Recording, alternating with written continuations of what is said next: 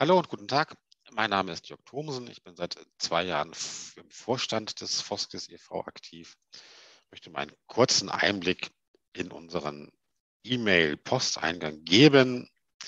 Dafür habe ich mal ein paar Mails mir rausgesucht, die repräsentativ sind ähm, und hier anonymisiert in die Folien gepackt und gehe da jetzt einfach mal durch.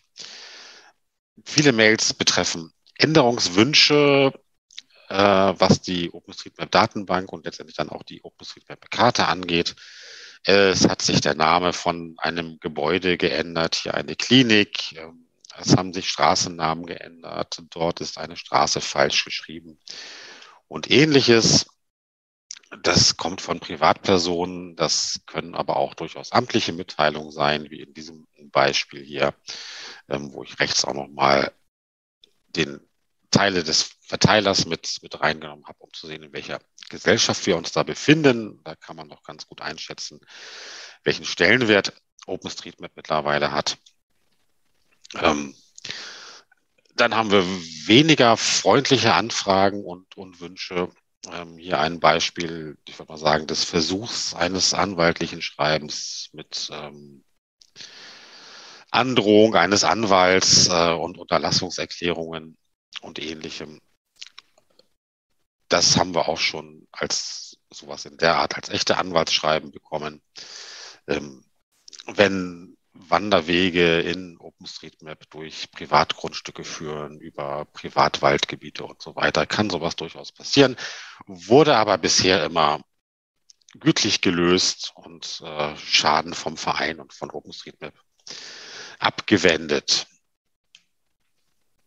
Ähm, die Anfragen kommen, wie gesagt, nicht nur von Privatpersonen, jetzt hier keine Änderungswünsche oder Mitteilungen, sondern eine Anfrage nach Nutzungsmöglichkeiten von einer systemrelevanten Institution, Polizei, Feuerwehr, Hilfs, äh, Hilfsorganisationen. Wie können wir OpenStreetMap-Datendienste nutzen, ähm, ohne da in Probleme zu kommen, gesperrt zu werden, ohne Lizenzrechte zu verletzen und so weiter.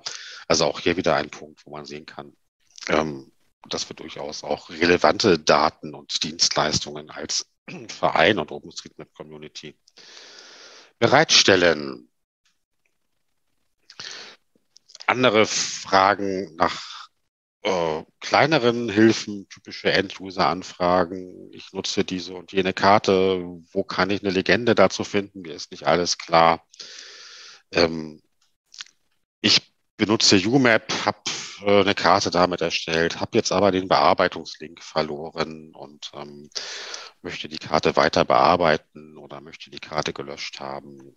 Ähm, davon erreichen uns auch relativ viele Anfragen. Auch diesen Leuten wird dann gerne geholfen, damit sie uns weiterhin freundlich gesonnen sind. Und wie gesagt, wir freuen uns ja auch immer darüber, wenn unsere Daten und Dienste genutzt werden. Eine besondere Kategorie der Änderungsanfragen ähm, betrifft noch dieses hier.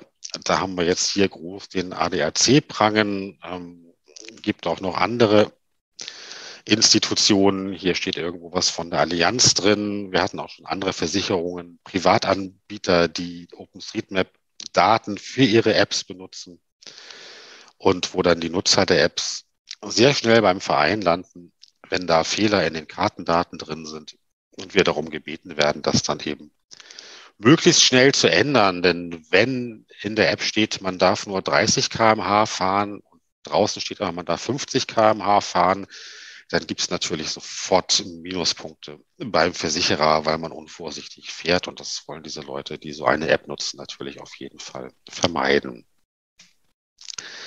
Andere Anfragen betreffen ähm, konkrete Fragen nach weiteren Dienstleistern, nach weiterer Hilfe, welche Produkte können wir benutzen, wo können wir Support in Form von Schulungen und so weiter kriegen.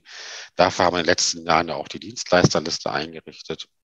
Und wir haben auch eine ganze Reihe von lizenzrechtlichen Fragen. Was muss ich beachten, wenn ich eine OpenStreetMap-Karte drucken möchte?